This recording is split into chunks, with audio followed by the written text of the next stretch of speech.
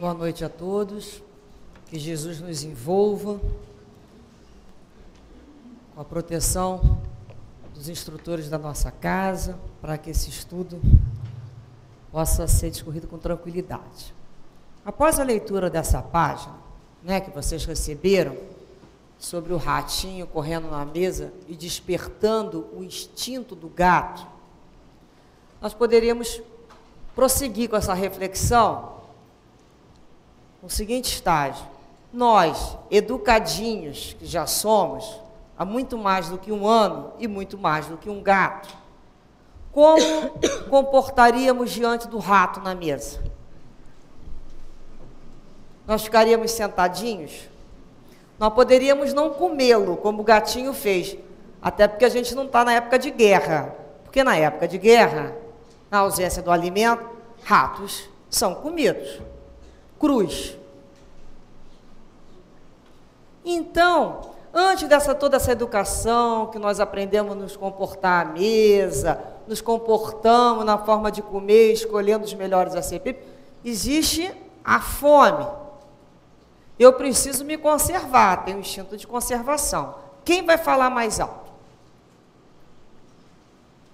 É uma questão, uma pergunta. Ninguém está afirmando nada por enquanto. Lembra daquele tempo quando a gente era criança? Não sei se alguém aqui já ouviu, mas era natural. Tá com fome? Vai na rua, mata um homem e come. Isso é para lembrar o nosso tempo, né? Lá de canibais, que a gente ia comer. Ia resolver a necessidade da fome. Tá com fome, mata um homem e come. Mata qualquer coisa e come. É o instinto. Hoje a gente já não sei o que responder. Não sei o que responder. Hoje, não sei o que responder. Diante de tanto processo de educação, tantos séculos aí que nós vamos trabalhando é, essa razão junto com esse instinto, contrabalançando. Então nós temos uma razão. Nós já pensamos assim, ó, eu estou com fome, mas sou capaz de saber que eu vou segurar essa fome, vou tomar um copo d'água, vou fazer uma substituição, né? Assim que puder, vou comer tal alimento. A gente já negocia com esse instinto.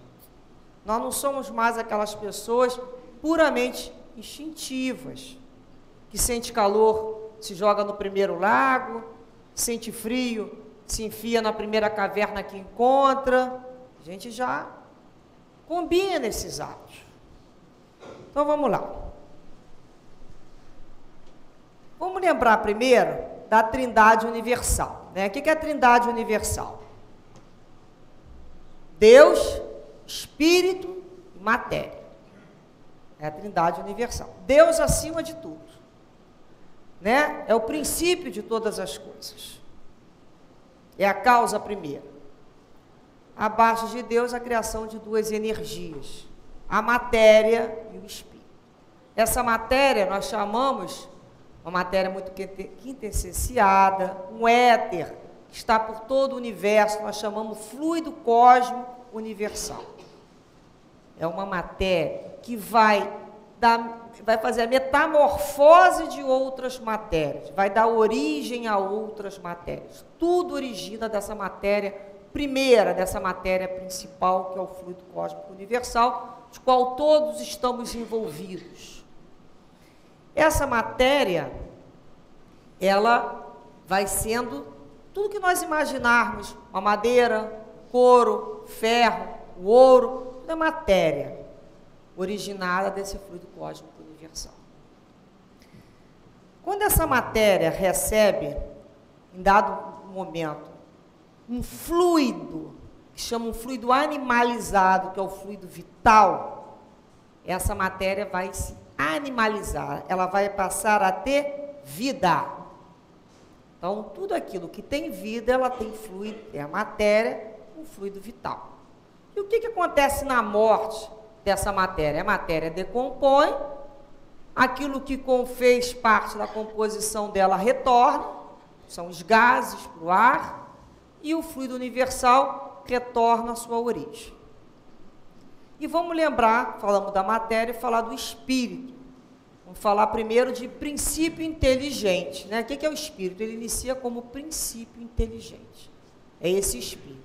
Então, a união desse espírito com a matéria, que foi lido, é quando esse espírito vai buscar intelectualizar essa matéria. Só que, antes de entrarmos nessa questão do espírito e da matéria, lembrando desse princípio inteligente, ele vai, a gente tem que lembrar que esse princípio inteligente, ele não começa, não, não inicia com o espírito, inicia com uma coisa que nós vamos chamar princípio inteligente. Uma forma inicial, do qual tem o que em torno dele? Para se ligar a essa matéria, possui um envoltório. Um envoltório é um elemento de ligação entre esse corpo puramente material e esse princípio inteligente. E é nesse envoltório que se guardam né, uma memória, que se guarda um verdadeiro arquivo de tudo que, essa, do que esse princípio inteligente vai vivendo nas mais diversas eras. Então ele vai estagiar, ele vai se fixar pelos vários, pelos nossos vários reinos que conhecemos. O reino mineral, o reino vegetal, o reino animal, ao hominal. Então, esse princípio inteligente, ele vai passar por todos esses reinos. Lá no primeiro reino, no reino mineral, esse princípio inteligente vai desenvolver uma coisa que chama-se fixar coesão molecular. Ele vai aprender a ter afinidade de moléculas. Ele fixa essa, essa experiência. Já no princípio, lá no reino vegetal, ele já tem fixado. O vegetal ele já fixou a coesão molecular. Ela vai fixar o quê? Um pouco da sensibilidade. Né? Lembra daquela planta que a gente lembra lá da, das sensações? A planta, acho que é dormideira o nome dela, que a gente coloca a mão e ela encolhe, ela volta. Olha só a questão das sensações aí no reino vegetal. Se a gente conversa com uma plantinha, existem estudos que demonstram pessoas conversando com a planta, tratando bem uma planta, é, é, vibrando com pensamentos positivos por essa planta. A planta ela não vai decodificar a minha palavra. Oi, minha bonitinha, você está florindo hoje. Ela não entende esse vocábulo. Ela entende da vibração que eu a envolvo de carinho como uma vibração de raiva, de má vontade de parar com ela, coloco ela em qualquer lugar, se eu não lembrar, não dou água, não boto. Ou seja, ela percebe essa diferença e sente, sensibiliza-se. E ela dá mais flores, dá mais frutos, enfim, ela funciona. Esse princípio inteligente está sendo o quê? Aprendido, fixado. E essa planta também ela vai aprender a sobreviver com as adversidades do meio ambiente. Tem local muito frio, tem local muito quente, tem local que é muito árido, tem local que é muito úmido, chove bastante. Então ela vai aprendendo a trabalhar essas diversidades do meio. É o que nós vamos chamar da própria seleção, né, da própria seleção natural dessa espécie. Lá no reino animal, que já foi fixado, a coesão, a sensação e agora vem os instintos primeiros, mais rudimentares, né, que a gente pode chamar aquele primeiro arrobo dos instintos. Vai sendo fixado nos animais. Até que nós vamos chegar ao ser humano, que esse princípio inteligente vai se individualizar, vai receber a razão e vai ter consciência de si mesmo. Nós vamos passar a chamá-lo de espírito. Ele já fixou. Mas tem gente que tem dificuldade, né, de fazer uma aceitação dessa. Vamos lá, nós buscamos como referência no livro Evolução Anímica do Gabriel Delane, a teoria que ele fala que os animais, eles são passíveis da educação e de se autoevoluírem por si mesmos, pelas percepções que eles vão fazendo com o próprio ambiente. Então ele relata casos, por exemplo, de um pelicano cego que não morreu. Os outros pelicanos o alimentavam, ele estava até bem gordinho. Um cavalo, lá de uma cavalaria britânica, que depois de muito tempo perdeu os dentes, já estava velhinho. Ele morreria. Mas o que, que aconteceu? Os cavalos que partilhavam com ele do local daquela estrebaria passaram a pegar o feno e a aveia, mastigar para ele e jogar para que ele comesse. Olha que exemplo é esse. Então não vamos começar. De onde é que vem? Quer dizer que tudo, nós queremos uma coisa meio imediatista. A gente quer ser ser humano e esquecer que existe uma cadeia lá atrás. Outros reinos. A gente quer sempre ser o único e criado porque Deus quis, perfeito, pronto. Mas isso não impossibilita né, a beleza maior, que é o desenvolvimento da própria espécie. Olha só. Ele conta aqui o caso sobre um animal. Levou-se uma estrebaria um molho de palha servido em jaula de leões ou de tigres. E com essa palha fizermos a cama dos cavalos, vamos perceber, tão logo eles sintam o cheiro da palha, eles vão se tomar de terror e pânico e vão tentar fugir.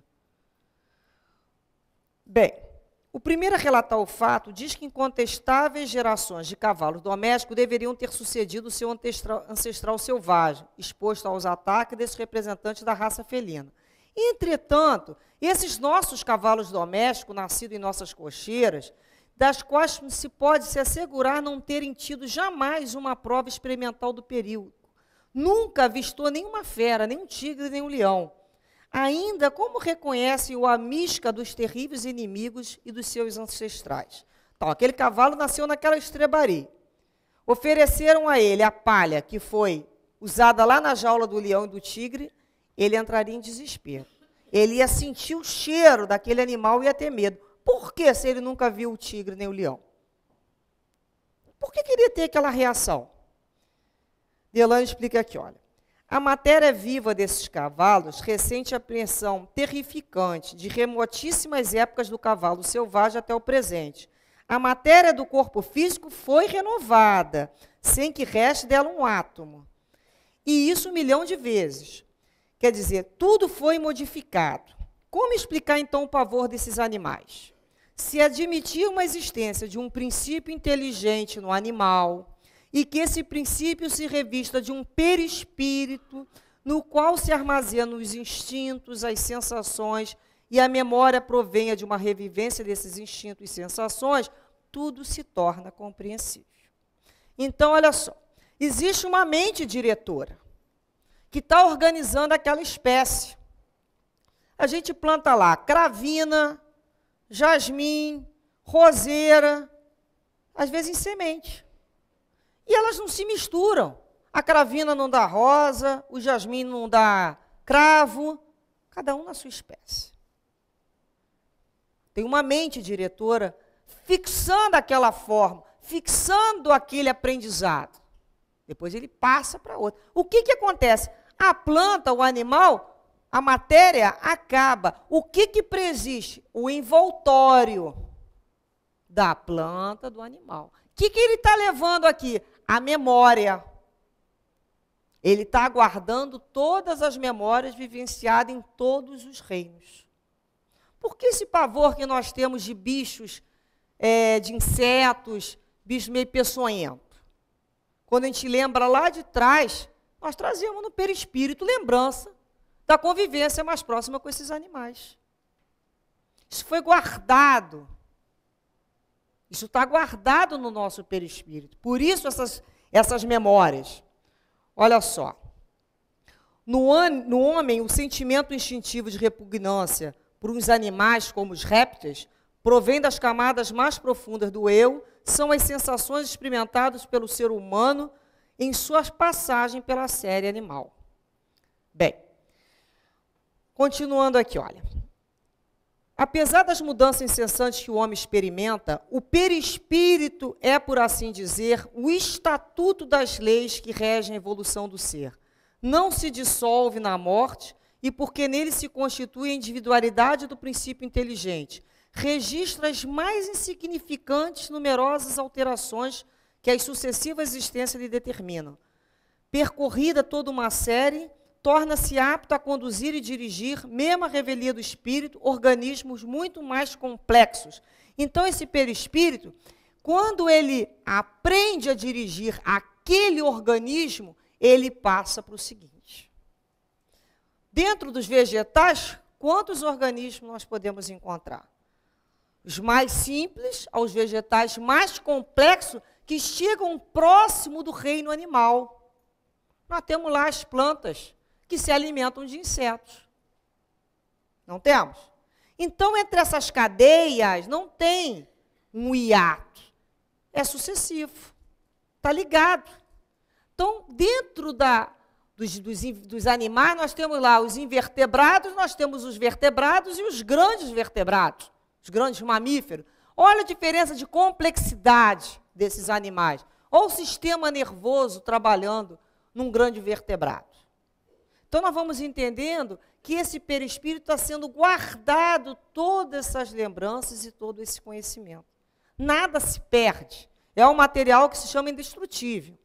Lá no livro dos Espíritos, na questão 609, os Espíritos falam assim: ó, a atual humanidade passou por um período chamado de anti-humano, durante o qual estagiamos por muitos milênios nos reinos da natureza nós estagiamos por outros reinos. Mas isso não quer dizer que eu me lembre quando eu fui o gatinho pimpão. Entendem? A gente tem que deixar isso claro. A gente não tem essa referência. Nós, princípio inteligente habitando corpos, aprendendo e ganhando experiência. Então, isso é uma teoria evolucionista gente vai lembrar lá de Darwin, não é isso? A teoria, a origem das espécies. Diferente do que? Do criacionismo, daquela, olha, Deus fez o mundo porque quis em seis dias e descansou no sétimo. Quanto tempo Darwin teve que aguardar a impactar e revolucionar a história natural com a teoria da criação? Da, da evolução das espécies, da seleção natural. Quanto tempo ele teve que fazer, né, esperar? A gente vai ver que ele vai falar da influência do meio e da própria seleção natural. Então não fomos, não tem a, a, a teoria criacionista. Fez-se a luz e Deus fez isso, Deus fez a terra, fez o mar, depois colocou o homem. Nós vamos perceber que essa história é de bilhões de anos sendo percorrida. E fica até mais bonito, não fica? Que é da própria lei, é a lei do progresso. Então, até Darwin fala que não é o mais forte nem mais o inteligente que vence, é o mais adaptável às mudanças que sobrevive. É a lei de seleção natural. Hoje nós somos os resultados dos mais adaptáveis. O nosso resultado hoje, na seleção natural da vida, nós fomos as criaturas mais adaptáveis ao meio. Nós resistimos melhor. Bem, Nidelane ainda, ele fala assim sobre isso. O princípio espiritual evoluiu lentamente das mais íntimas formas a organismos mais complexos, durante longuíssimas idades geológicas. Faculdades rudimentares do espírito desenvolveram sucessivamente, agindo sobre o perispírito e modificando, deixando em cada etapa os traços do progresso realizado. E pelo mecanismo cada vez mais desenvolvido e coordenado, as relações reflexas puderam, enfim, manifestar-se os instintos então, à medida que a ascensão vai acentuando, repontam os primeiros albores da inteligência. Longe de sermos criaturas angélicas, decaídas, longe de havermos habitado um paraíso imaginário, foi com uma imensa dificuldade que conquistamos o exercício das nossas faculdades para vencer a natureza. Terrível foi a luta do homem primitivo com as grandes espécies da fauna. Ele teve de fazer guerra de extermínio às feras até expulgar delas regiões infestadas. nem foi senão lentamente, por explorações dignas, que ele conseguiu triunfar. Quem deixará de admirar essa marcha mais gloriosa para a luz? Então é uma beleza mesmo. Quando a gente olha para trás, nós não viemos de um, de um Adão que foi decaiu do céu, um anjo caído. Nós não somos originários desse Adão. Mas muita gente prefere, como fala Camille Flammarion, descender de um Adão degenerado do que de um macaco aperfeiçoado. Muita gente prefere. Ah, eu prefiro vir de Adão.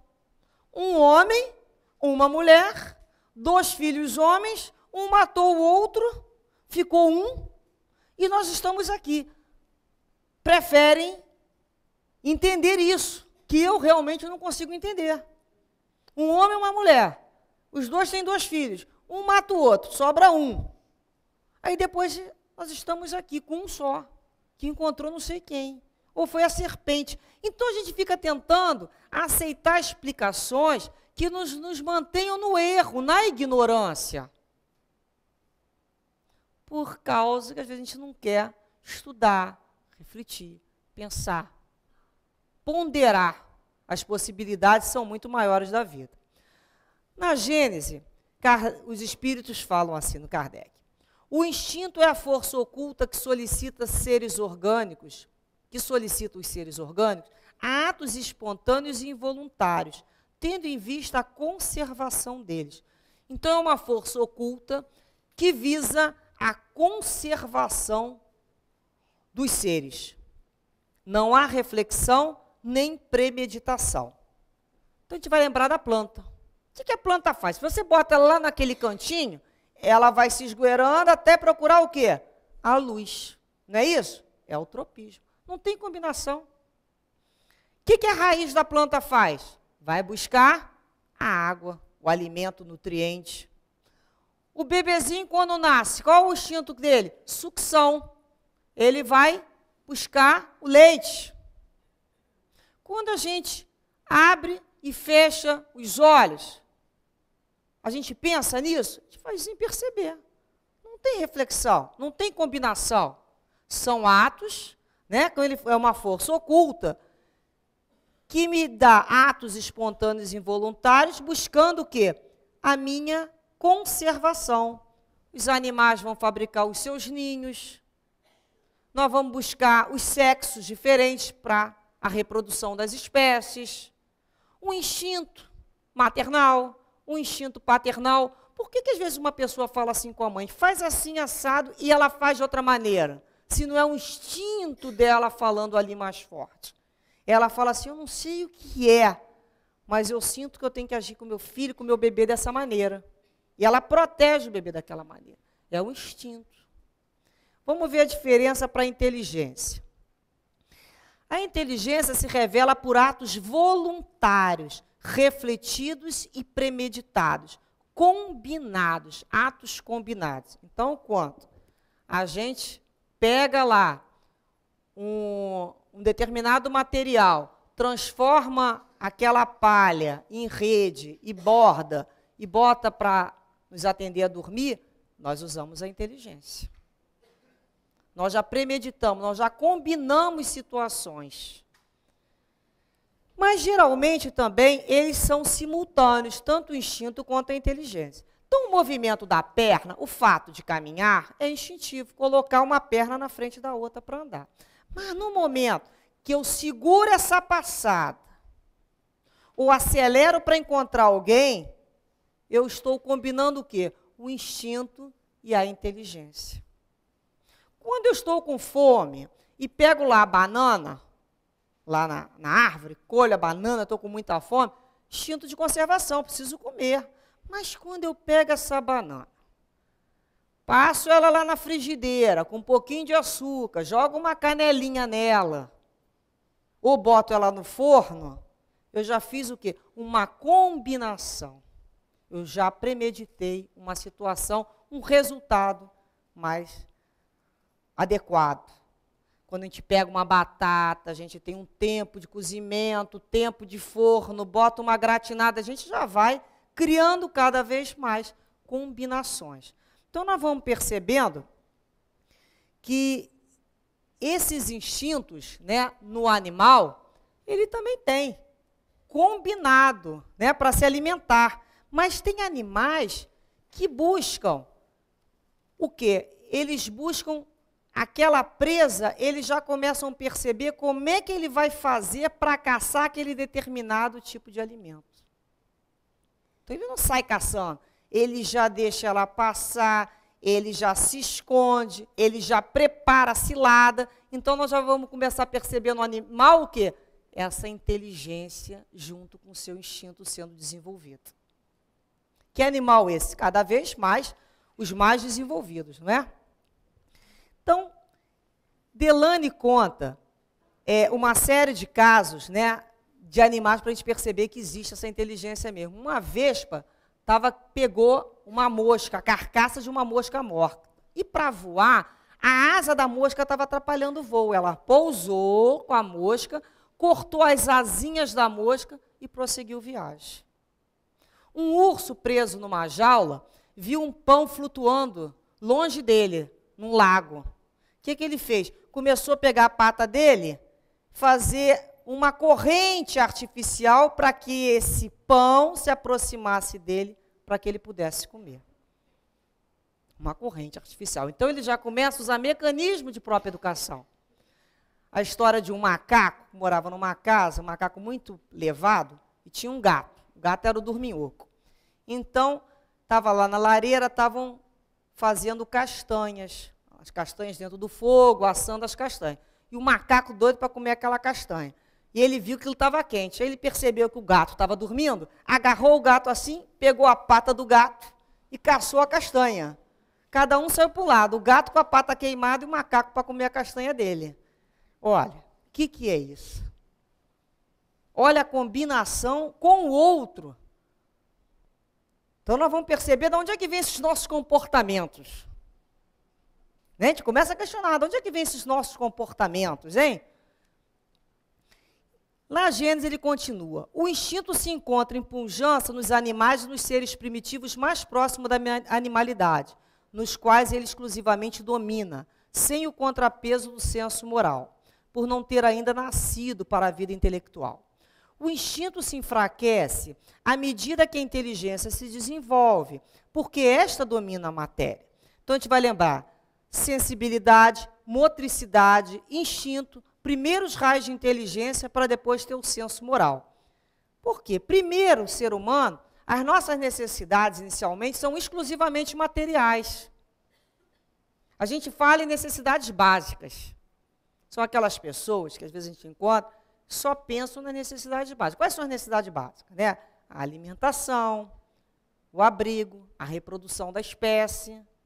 Depois, conforme nós vamos fixando esse conhecimento, que isso é importante, nós vamos passando para uma outra esfera. Qual vamos desenvolver não mais exclusivamente a matéria. necessidades serão semimateriais e necessidades já semi-morais. Nós temos necessidades morais. A questão das sensibilidades, a questão do moral, do discernimento, das escolhas. E no fim, nós vamos desenvolver a viver apenas das necessidades exclusivamente morais. Então nós vamos sair dos humanoides para os angélicos. Esse é o caminho. Ainda temos isso a percorrer. Então hoje nós estamos fixando as necessidades. Quando a gente se encontra aqui, a gente já está fixando necessidades semi-morais e semi-materiais. Né? A gente não vive mais só da matéria, a gente quer pensar a gente já reflete não só o que eu quero, mas o que é importante para todos. São reflexões morais. Então, primeiro é instinto, depois vem as sensações, depois nós vamos ter os sentimentos, que é inteligência. As duas asas da inteligência e a asa da moral, os discernimentos, né? Até que a gente vai chegar ao amor. É o ponto de toda essa cadeia. Começa lá com os instintos, a gente vai trabalhando até chegar a aprender completamente a lei do amor. O que, que Paulo de Tarso fala? Tudo me é permitido, mas nem tudo me convém. Ou seja, tudo me é permitido. Nós já vivemos essas fases. Já fixamos muito desses conhecimentos de comportamentos, de como fazemos para adquirir as coisas. Mas hoje isso não me convém mais. Nós já podemos ultrapassar essa fase. Vamos lembrar lá do bebê? Quando o bebê ele é desmamado, né, que ele vence aquela primeira parte, que é a parte do desmame, o que, que ele faz quando ele não tem mais o seio da mãe? Ele vai botar um dedinho na boca, vai pegar um paninho, não vai? Às vezes não faz isso? Ou a chupeta. Ele passa por esse período de vencer aquela necessidade que ele lá tem. Ele tem o desejo. O está ali. Nós também.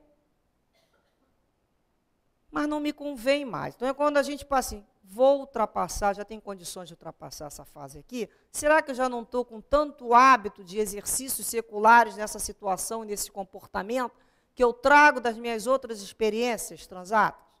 Quantos desses comportamentos excessivamente repetidos que eles vão criar? Hábitos. São os hábitos. Então é quando a gente começa a refletir sobre eles. Oh, por que eu tenho esse desejo? Pô, mas eu, eu não tenho mais eu não estou mais na fase de necessidade básica. Eu já conquistei a comida, eu já conquistei um canto para morar, eu já conquistei lá o meu abrigo. Eu não necessito. O que, que a gente começa a refletir? Quais são as outras conquistas da alma? A gente começa a ter outros desejos. E assim a gente vai imprimindo isso no nosso perispírito e transformando ele cada vez nessa aparelhagem melhor. Existe é, um psicólogo chama Howard Gardner, ele fala na, na teoria da inteligência múltipla. Que às vezes a gente fala em inteligência e a gente sempre lembra daquela inteligência com QI. Nossa, fulano sabe matemática, é muito inteligente. Nossa, fulano é professor de português, ele é escritor, como ele é inteligente. Então, o jogador de futebol, o outro que gosta de planta, ele não, a gente não repara ele como inteligente. Só é inteligente quem sabe matemática e, quem sabe, se, né, se expressar verbalmente ou pela escrita bem. E o restante não, não se admitia. Então, por isso existiu o teste, chama-se o teste do QI. Então, ele vem com essa teoria, teoria das inteligências múltiplas, nos fazendo pensar em outros tipos de inteligência. Então, eu trouxe só algumas aqui. Então, ele fala a inteligência lógico-matemática quando algumas pessoas têm, é a capacidade de raciocínio lógico, compreensão de modelos matemáticos, habilidade de lidar com conceitos científicos. É uma inteligência.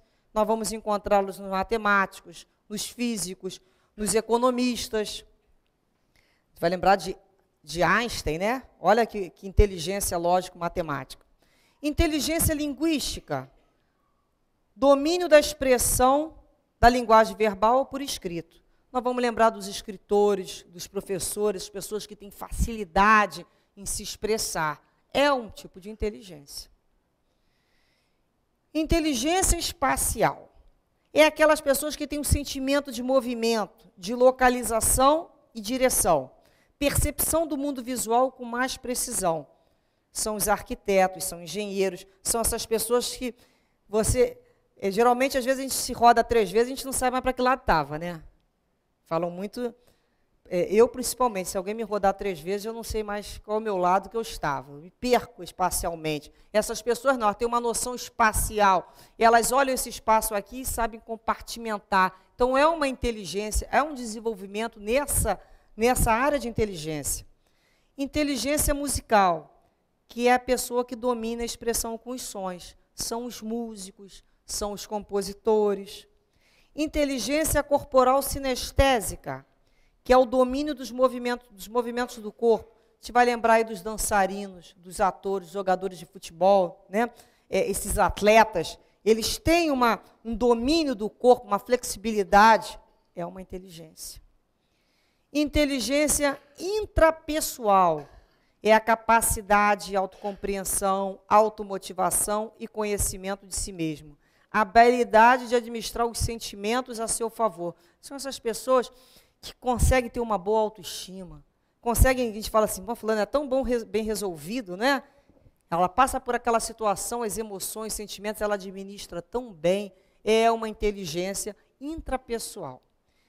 Interpessoal agora é capacidade de se relacionar com o outro, entender reações e criar empatias, se colocar no lugar do outro. Essas pessoas que chefiam grandes empresas, grandes sociedades, administradores, eles têm uma facilidade hora da relação, de botar os grupos né, partilhando. Naturalista, inteligência naturalista, sensibilidade para aprender os processos da natureza. Os ecologistas, os biólogos, são essas pessoas que interagem com a natureza, uma, uma facilidade de interagir, que a gente fala assim, pô, tem conhecimento, tem uma facilidade de fazer essa percepção.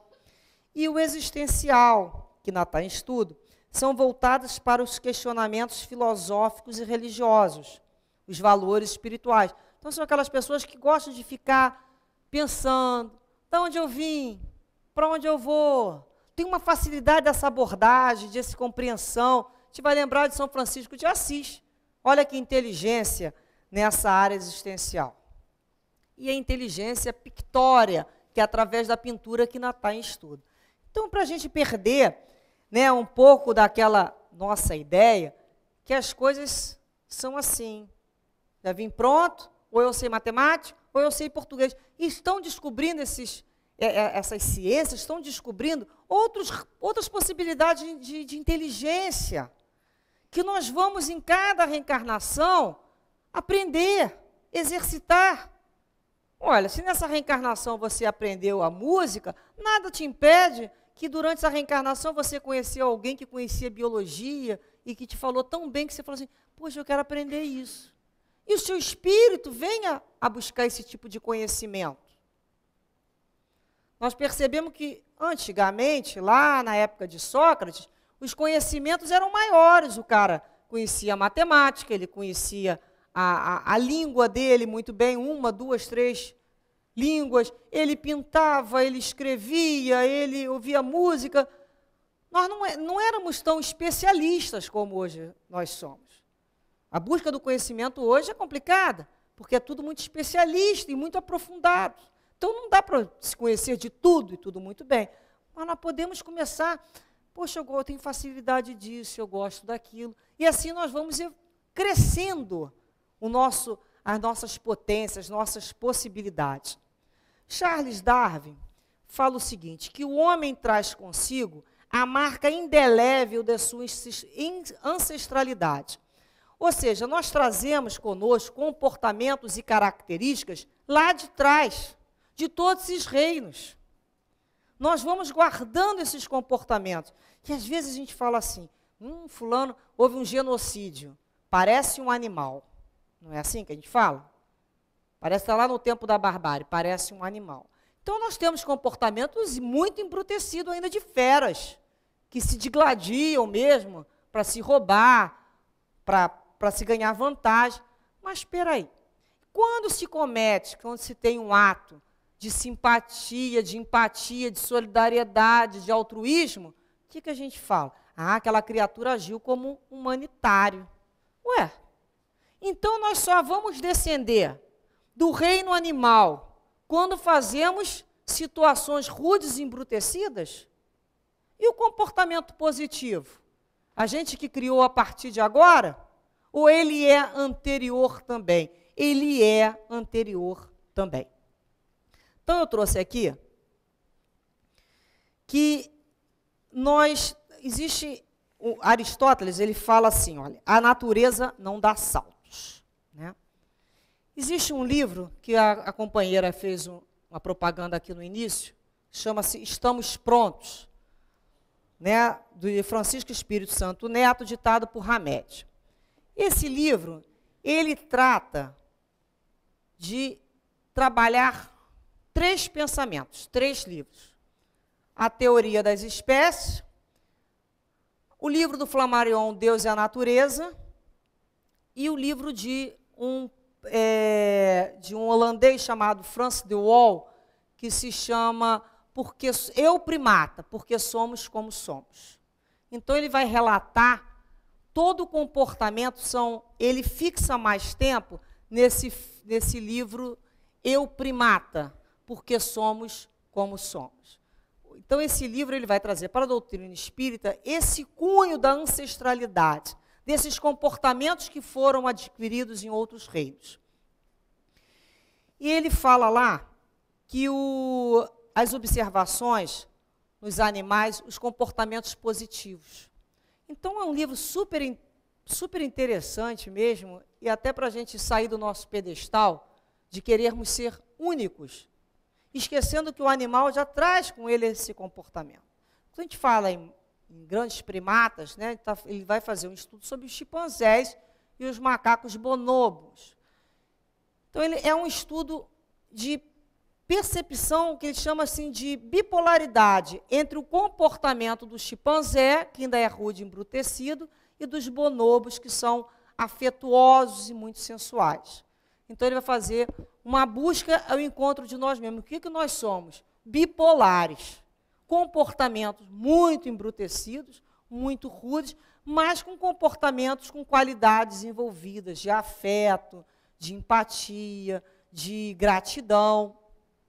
Então, ele veio trazendo os relatos e eu busquei alguns. Ele fala de uma fêmea chamada Bintijua, que resgatou uma criança que caiu na, na jaula né, dos macacos a seis metros de altura.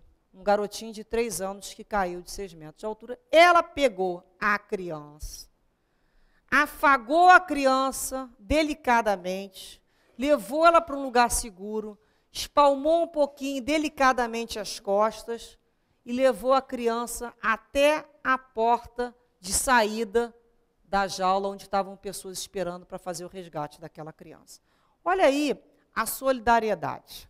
Olha um comportamento que ela foi considerada até uma heroína. É você buscar, você ter. Olha o comportamento de buscar um outro que não é da sua espécie, com carinho, com delicadeza, e naquele momento você fazia o que se tem ao seu alcance. É o que ela podia fazer: acariciar, mexer nas costinhas, botar um pouquinho d'água. Quando ela percebe que já está mais tranquilo, ela leva a criança e entrega para quem ia fazer o restante dos cuidados. Outro exemplo que nós trouxemos foi de um macaco bonomo chamado Kanzi. Ele era muito inteligente, muito inteligente, mas a irmã dele, a outra macaca, não aprendia o que o treinador, lá o que o, professor estava ensinando. E ele fazia rápido o adestramento, as situações que se pedia. A irmã dele não. Quando ele percebeu que ela não correspondia ao que estava sendo solicitado, ele começou a virar intérprete dela.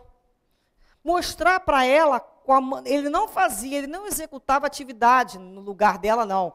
Ele levava ela a aprender ele se tornou um instrutor ali. Olha como, então empatia, ele se colocou no local dela. Como é que ela faria para entender? Ele foi usar os símbolos que poderia mais próximo dela da animalidade se fazer entender. Um outro exemplo que ele dá foi de uma macaca que viu um passarinho bater no vidro da jaula e cair e não conseguia mais voar. A macaca foi lá, pegou aquele passarinho, levou ele para o alto da árvore, esticou a asinha dele e empurrou. Ele caiu. Ela foi lá de novo, esticou mais ainda e fez igual faz aviãozinho para ele voar. Quem que ensinou? Quer dizer, ah, ela não voa. O grupo dela não voa. Mas ela já conseguiu perceber e se educar pelas outras aves que estavam ali. Então foi, ela foi buscar a solução para o outro que é uma diferente da solução dela. Olha o comportamento. Então, até que ela não conseguiu, deixou ele no cantinho, protegendo para que nenhum outro bicho se aproximasse dele, até que ele conseguiu sair voando depois no finalzinho da noite. E um último exemplo foi de um dois macacos foram colocados lá de fora no frio e na chuva, muito tempo. Depois de um longo tempo, veio o professor do instituto abrir a jaula para que eles entrassem. Antes deles entrarem, eles abraçaram o professor que abriu a porta e depois entraram. Olha o sentimento, a gente não pode dizer que tem aí um sentimento de gratidão e de carinho. Então a gente começa a, re, começa a repensar nos nossos comportamentos, e esse estudo né, são etólogos, eles fazem um estudo do comportamento individual e social dos animais. Quanto disso, quanto dessas situações nos chegaram? Tantas positivas quanto as de sobrevivência. A gente não pode falar em situações negativas, situações de sobrevivência. É a luta, que se chama a luta da sobrevivência. E no final da vida deles, tudo acaba em grooming, que se chama, que é um catando o piolho do outro. Então a gente começa a perceber que a gente tem muito a aprender com o nosso passado, com as nossas histórias, não com vergonha, mas falar que beleza, como é que o espírito, como é que o princípio inteligente ele vem caminhando em busca da luz maior. Olha a beleza. Nós somos realmente corajosos e resistentes. Então a gente começa a perceber que essa moralidade, que nem diz ele aqui, já está escrita. A lei é lei de progresso. Nós trazemos dentro de nós toda essa potencialidade na alma para ser desenvolvida na hora certa, no momento certo, porque a natureza não dá saltos. Terminamos essa ideia com o Evangelho, no capítulo 11, Amar o próximo como a si mesmo, que é a lei de amor. E o Espírito, Lázaro, diz assim: O amor resume inteiramente a doutrina de Jesus, porque é o sentimento por excelência. E os sentimentos são os instintos elevados à altura do progresso alcançado.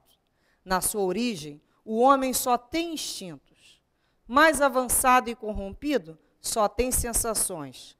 Mais instruído e purificado, tem sentimentos. E o ponto mais delicado do sentimento é o amor. Que possamos então continuar caminhando rumo a essa conquista, a do amor, que com certeza todos iremos fazer, porque faz parte do nosso interior, da nossa bagagem o amor, porque somos criaturas criadas pelo amor e com amor. Que o amor de Deus, então, nos envolva a todos. Graças a Deus.